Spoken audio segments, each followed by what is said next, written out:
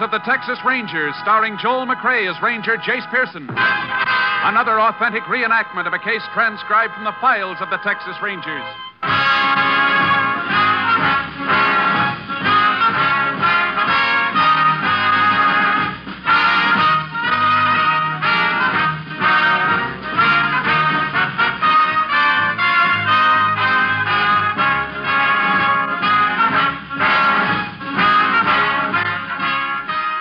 Dates, and places in the following story are fictitious for obvious reasons.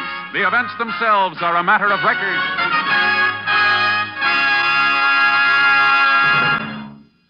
Every day, Monday through Friday, you're invited to a new program on NBC as Jay Sims brings you inside news from Hollywood. Yes, this is another in NBC's stellar daytime lineup of interesting and entertaining daytime radio programs. You'll enjoy such other favorites as Walter O'Keefe, who MCs America's funniest daily quiz program, Double or Nothing, Warren Hull, who presides over the program with a heart, Strike It Rich, and Tommy Bartlett, the MC with a roving microphone to welcome travelers as they stream through Chicago. And there's more entertainment, too, with Dial Dave Garroway. Dave has an easy, relaxed manner that's certain to give you an idea or two on how to beat the heat. And every day, Monday through Friday, NBC presents the two boys from Boston who this year won the coveted Peabody Award, Bob and Ray. If you're tired of the same old thing on comedy shows, be sure to listen to Bob and Ray for a new concept of humor. A concept you're sure to enjoy. Now, here are tales of the Texas Rangers.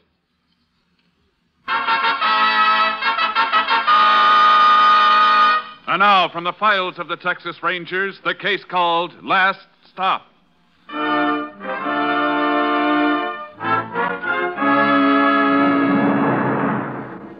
It is Thursday night in July 1931. A local passenger train speeds through the rocky country of West Texas. While the engineer watches the track ahead, the perspiring fireman shovels coal into the flaming firebox.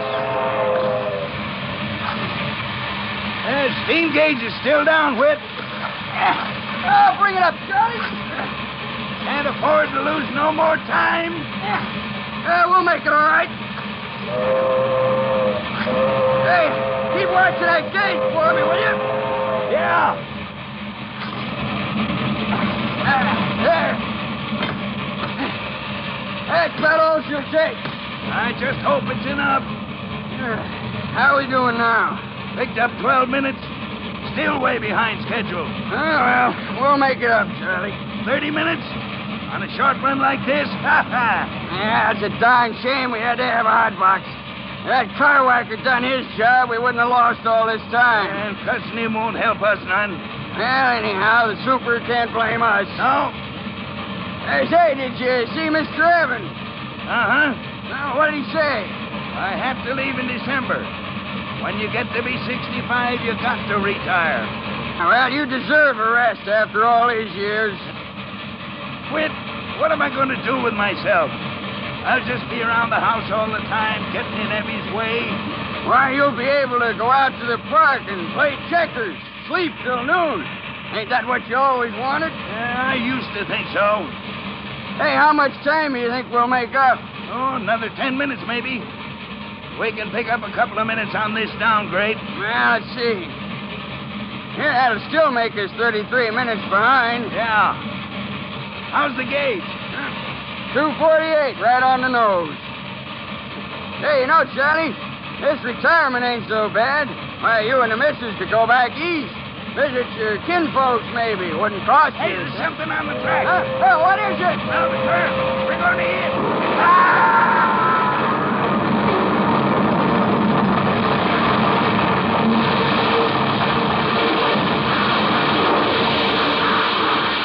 Oh. Oh. Charlie. Charlie. Where are you, Charlie? Charlie!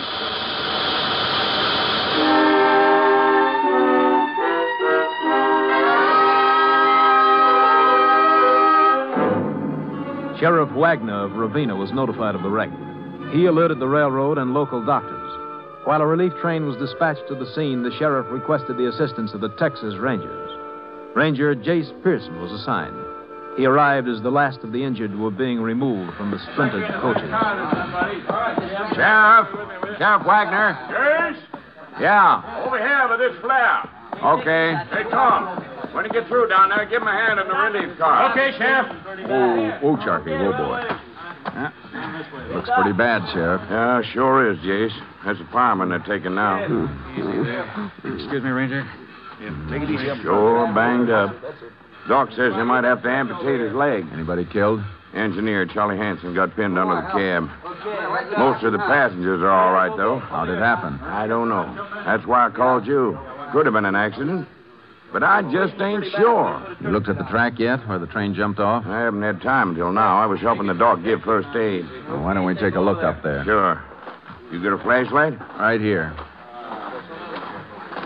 How come you got here on horseback, Jace? Oh, I left my car on the other side of the canyon. Figured it'd be faster cutting cross country. Yeah, you probably saved 35, 40 minutes that way. Uh huh.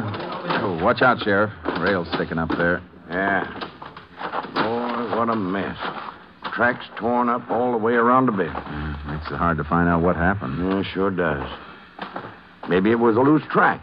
Yeah, or an axle on the train might have broken. Yeah, I wish I knew. Fireman's not in any condition to talk, and none of the others have any idea. Hold on, Sheriff. What is it, Jason? Take a look here. This railroad tie? What about it? This tie could have caused the wreck. You see these marks? Here and here? Oh. All gouged out. Kind of like it's been burned. It could have been done by the friction of the front wheels of the engine. Marks are the right distance apart. Yeah. Then this must have been on the tracks, Jace. Somebody had to put it there. You think somebody wrecked a train on purpose? Well, it looks that way, Sheriff. How many trains come through here a day? Only two, one going west and one east. What time does the train going east come through? About supper time? And that time must have been laid across the tracks no more than three or four hours before the wreck. Yeah, that's right. You keeping a deputy on guard here tonight? Keeping two of them out here. Good. Maybe one of them can take this tie into town. Sure thing, Jace. What time did this wreck take place? Well, I don't know yet. Haven't had time to really question anybody. Sheriff, that you? Yeah. We got them all into the relief train. Anything else I can do? I don't think so, Mr. Morton. You've sure been a big help. Uh, this is Ranger Pearson. Howdy, Ranger. Howdy. Mr. Morton's the one phoned me about the wreck, Jace. Did you see it happen, Mr. Morton? My boys did. Did they see anyone around the tracks beforehand? Didn't mention it. They couldn't have anyhow. Too far away. Where were they? Up there on the hill looking for some stock. I guess you can't see it in the dark. My place is just the other side of it. What time did it happen? Gosh, I don't know, Ranger. I was pretty excited. Guess I didn't notice. You called me at five after nine, Mr. Morton. And it must have happened just about nine. Only took the boys a couple of minutes to ride down to the house. Uh-huh. Your boys here now? No, no, I made them stay at home. Sure glad I did. Never saw anything so terrible in my life. All those folks suffering. Relief train's ready to leave, Jace. Yeah. Who's that shouting? Huh?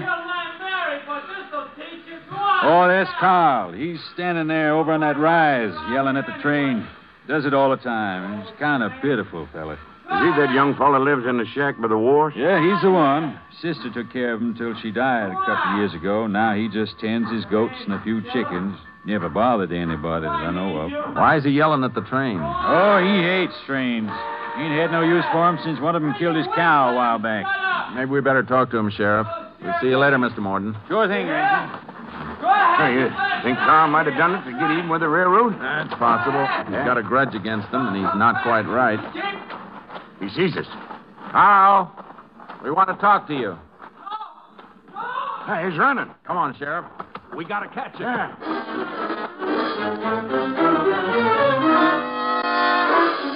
Carl was clever as a bobcat. He knew the country and slipped away from us in the dark. We spent over an hour searching for him through the rocks and arroyos without success. Finally, the sheriff and I went over to his shack and concealed ourselves in the dense brush about 50 yards away. We stayed there the rest of the night. The longer we waited, the more convinced we were that Carl had something to do with wrecking the train. Nine o'clock the next morning, he still hadn't shown up. I declare, Jace, I'm so stiff and sore I can hardly move. I know how you feel, Sheriff. Yeah, that's sure a rundown looking shack he's got. Don't see what keeps it up. No. Sheriff, maybe we're wasting our time here. Think maybe he's not coming back? Hmm, Can't tell with a man like that. Might have scared him off for good. Yeah. Especially if he did wreck that train. Uh huh. Why don't we get somebody to keep an eye on this place? Then we can start looking for Carl again out in the brush. That's a good idea. Wait a minute, Sheriff. Get down. What is it, Jace? Over there, other side of the clearing. Yeah. There he is, just coming in now. He's making sure the coast is clear. Guess he figures it's safe. He's going in. Let's get him. No, not yet. Let him get inside first. Okay, let's go. Reckon he sees us coming? Now, that window's so dirty, I don't think he can see anything. Why don't you go around back, Sheriff? There might be another door. Okay. Give me time to get around there. Yeah.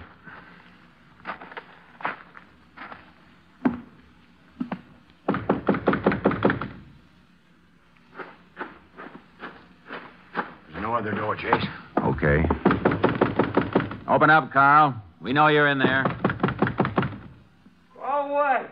We want to ask you some questions, Carl. I won't let you in. He's not going to open it, Jace. Door's locked. Open the door, Carl, or we'll break it down. I won't let you in. I won't do it. I guess we'll have to, Sheriff. Yeah, it shouldn't be hard. It's pretty flimsy. You ready? Yeah. All right. Now, Oh, get out! Get out! grab his arm, Sheriff. Hang on.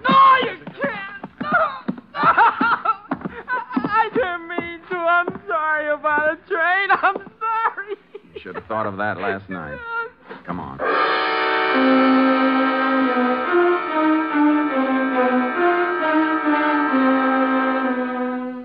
On the way into the sheriff's office, Carl sobbed and trembled hysterically. We could get no information from him. Sheriff Wagner and I saw it was necessary to let him calm down before continuing the questioning. We got Carl a hot meal and let him rest. We put the railroad tie in the sheriff's office. A few hours later, we sent for Carl. Come in here, young fella. Sit down, Carl. You still mad at me? No, we're not mad at you, Carl. We, we want to know about that train. Dirty trains. One of them killed Mary. Who's Mary? Mary's his cow, Jace, the one that got hit. Is that why you were yelling at the train? Yeah. I, I, I didn't mean to. I'm sorry. I... Tell us, Carl. Is that why you ran away? You thought we chased you because you yelled at the train? Well, didn't you? No, that wasn't the reason. You know what happened to the other train? Yeah. Got busted up. Did you do that, Carl? No. No, I, I, I just yelled at the train. What were you doing yesterday? Well, I was home for a spell, taking care of my goats. How about yesterday evening? What were you doing then? I was over at the Radfords. Who do you mean, George Radford? Huh? What were you doing over there? We was killing hogs. What time did you leave the Radfords, Carl? Oh, not not for a long time. They give me supper. Mrs. Radford's a nice lady. Sheriff, you better call him. Find out if Carl was over there yesterday and what time he left. Okay, Jace. Carl, did you go down by the tracks before the train was wrecked last night? No, Go. I, I don't like trains. This is Sheriff. You see that railroad tie in the corner? Can't we go over to your place yesterday? Yeah? That was the tie that wrecked the train. Well, when Did you put it on the tracks? No, Well, thanks. You no, I, I, I didn't do it. Bye. Jace, that train was wrecked about nine, wasn't it? That's what Mr. Morden said. And Carl here didn't do it. How do you know? He didn't leave the Radfords till ten.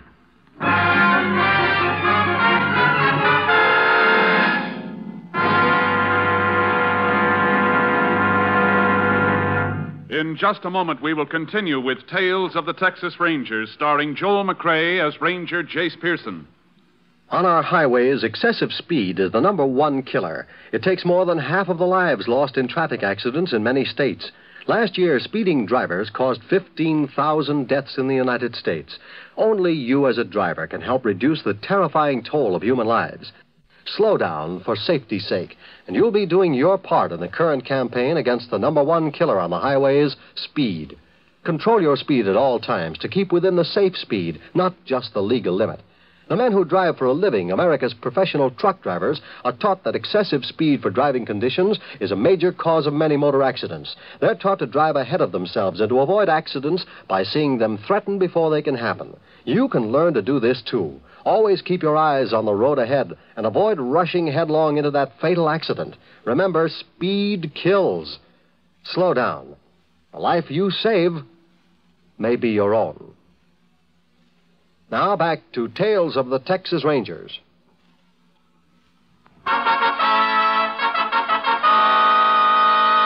We continue now with Tales of the Texas Rangers and our authentic story, Last Stop.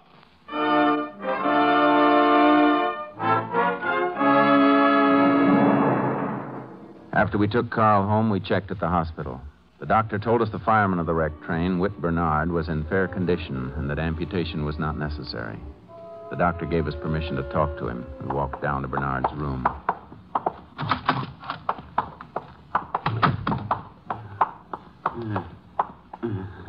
Mr. Bernard? Yeah. I'm Ranger Pearson. This is the sheriff. Yeah? We'd like to find out what happened, Mr. Bernard. Told me Charlie's dead. Yes, sir.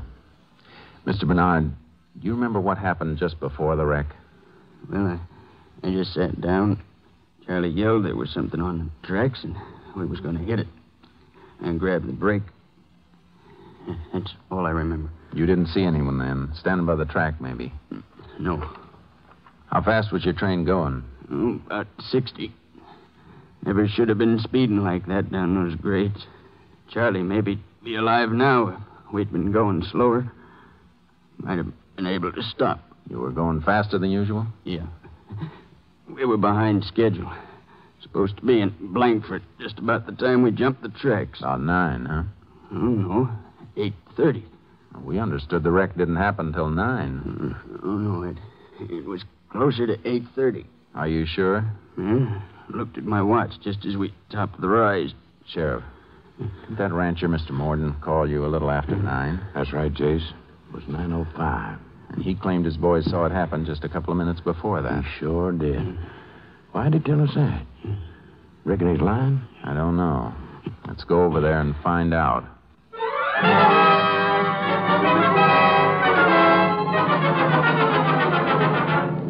The sheriff and I went to the Morden Ranch. We arrived there about sundown. Mr. Morden was just coming out on the porch as we drove up. Howdy, Ranger. Sheriff. Howdy. Hello, Morton. I was just about to call my boy into supper. How about eating with us? No, thanks. I'm making a pot of mulligan. Is plenty? No, thanks. We'd like some straight answers to a few questions. Well, sure thing. We're pretty sure now what caused the wreck. Is it so? What was it? Somebody put a tie across the tracks. You mean on purpose? Mm-hmm. Why, that's awful. That's the same as murder. It sure is. You called the sheriff at five minutes after nine last night. Is that right? I guess so. The sheriff remembered the time. And how long before that did your boys tell you about the wreck? Oh, less than a minute. I phoned right away. Where were the boys standing when they saw it happen? Up on that hill behind the house. Come on back. I'll show you. Did they hear the crash? Yeah? How come you didn't hear? Well, I was in the house, and the hill's in the way, I guess. There it is. Couldn't have taken them more than a couple of minutes to reach the house from there. No. Mind if we ask your boys about this? No, of course not. Come on. Young Dan's over in the barn milking. What's the matter, Sheriff? Something wrong? I'll tell you, Mr. Morton. According to what you say, the wreck must have taken place about 9 o'clock. It actually happened at 8.30. He. He couldn't have. We want to know why you're a half hour off, Mr. Morton. Well, I. I don't know. I can't understand it. Say, you don't think I had anything to do with the wreck? We don't know yet, but somebody did. Well, I'll tell you right now, it wasn't me. Maybe your boys will be able to tell us something. Come on. I just don't get it. You sure it wasn't an accident? We're sure. Dan! Dan, didn't you tell me. Hold on, Mr. Morton. We'd like to ask the questions. All right, Ranger. Dan, this is Sheriff Wagner and Ranger Pearson. They want to talk to you. Howdy. Dan, exactly where were you when you saw the train wreck last night? Well, we were up on the hill looking for some stock that wandered off. Ain't that right, Pa? Yeah, son. Did you come down and tell your father right away? Yeah, as soon as we saw it. Are you sure you didn't stay a while to watch? Oh, oh no, sir. We rode right down. Well, just what did you see? Well, we heard a big, awful noise. We looked down that way. We just saw the end of the crash, kind of, just as the cars were falling over. You saw them turn over? Yes. Yes, sir, we did. Son, are you sure you saw it? Yeah, Pa. If you don't mind, Mr. Morden, let us ask the boy. Dan, Yes, sir. tell me the truth now. Did you go down to the wreck before you came home to tell your father? No, we didn't. Honest. Did you ever handle a railroad tie, Dan?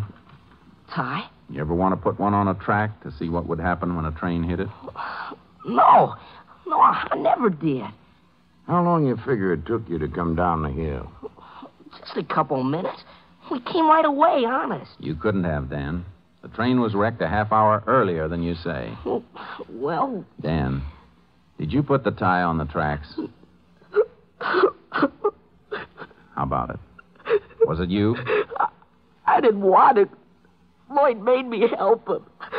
Oh, Pa. There, there, son. Ranger, I feel sick. My own boy, he did this awful thing. Why'd you do it, son?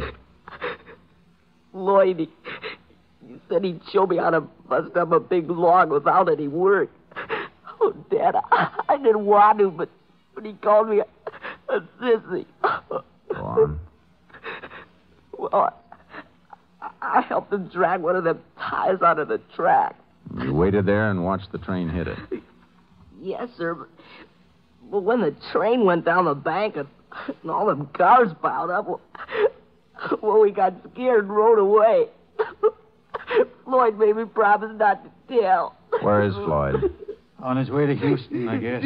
You mean you don't know where your son is? He's not my son. He's my boss's son. You see, I'm a tenant farmer here. Mr. Osborne owns the place, lives in Houston. What's the boy been doing out here? Well, he kept getting in trouble at home. Father sent him to military school. When that didn't do any good, he asked me to take him for the summer. Thought it might straighten Floyd out, being here. And I thought it was starting to do some good When did he leave? this afternoon.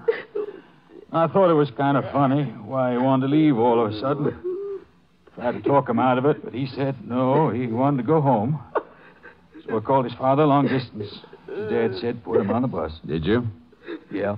Which bus was it? The one at four o'clock.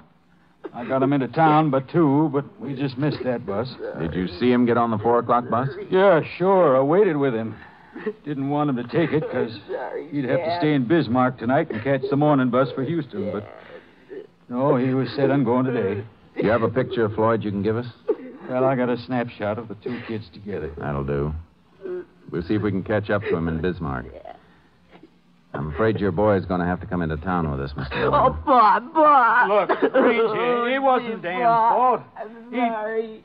He's got no mother to raise him, and I guess, I guess I just didn't do a good enough job. We have no choice, Mr. Morton. He wouldn't have done it if it hadn't have been for Floyd. Floyd's 17. He's two years older, and he was always talking Dan into things. Oh, that, that Floyd's a great talker. Every time I call him down about something, he'd talk himself out of it. Don't worry, Mr. Morden. He won't talk himself out of this.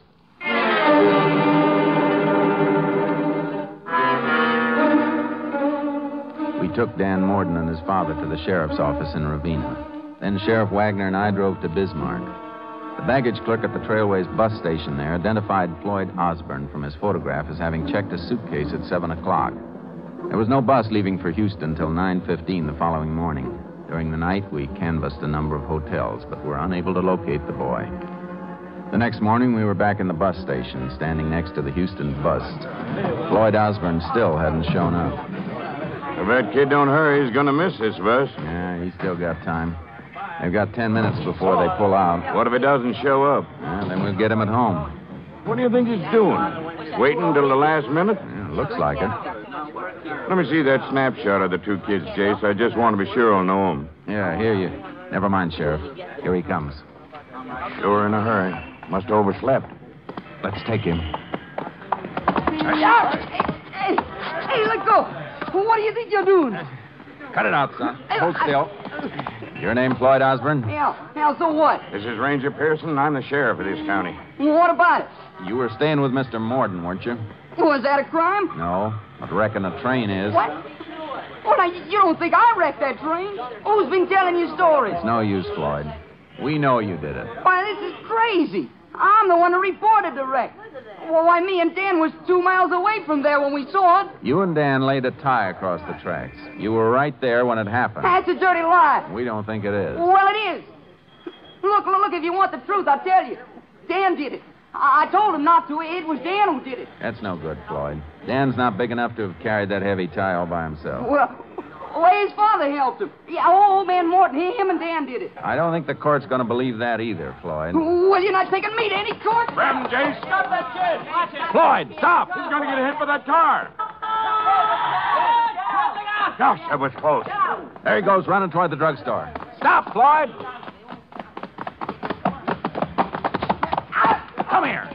Let go of me. Let go. Ow! ow. I hurt my arm. You're not hurt. But you're not running away again.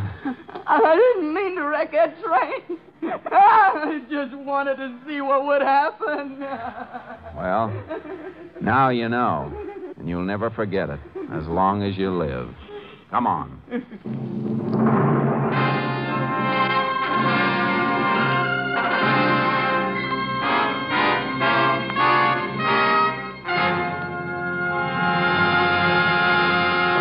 In just a moment, we will tell you the results of the case you have just heard. Every day of the week, during your every waking hour, NBC is sending the finest in radio entertainment to homes around the world. Monday night is Music Night on NBC with such stellar programs as The Voice of Firestone, The Railroad Hour, and The Telephone Hour. Tuesdays bring a variety of evening programs. For mystery, there's Barry Craig, confidential investigator, and The Adventures of the Scarlet Pimpernel. And for fun filled listening on Tuesdays, hear Truth or Consequences and Meet Your Match. Wednesday evening, more people listen to Groucho Marx and the Great Gildersleeve than to any other radio shows in America. You'll want to join the millions who know that Groucho and Gildy each will provide top radio entertainment. Then, Thursday evenings, be sure to hear Mystery on NBC with some of the best adventure programs on the air. Dragnet is just one of the fine Thursday night shows on NBC. And so it goes throughout the entire week. This station joins with NBC to provide you with great radio entertainment. And now, the conclusion of Tales of the Texas Rangers.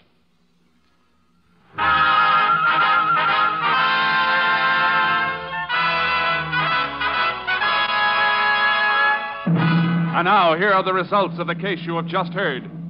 Floyd Osborne and Dan Morton were brought to trial on January 8th, 1932.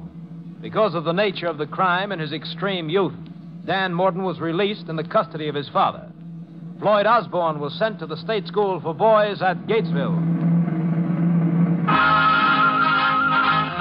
Next week, Joel McCrea in another authentic reenactment of a case from the files of the Texas Rangers.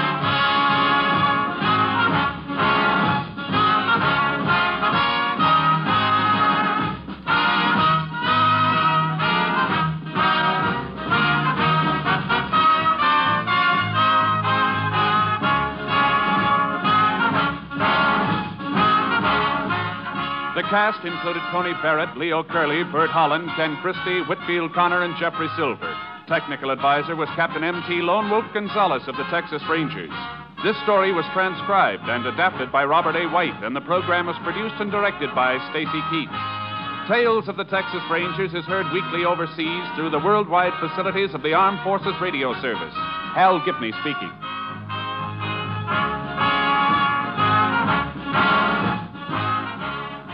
Tonight, hear the Hollywood Bowl concert on NBC.